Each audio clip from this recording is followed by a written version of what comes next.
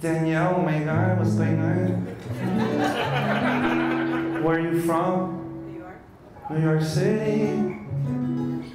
You living here or you visiting? You live here. What part of town do you live in?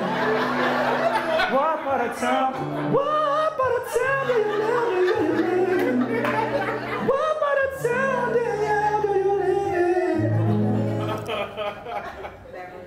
Beverly Hills. That makes sense. You look expensive as fuck. Don't she look expensive? She problematic. She trouble.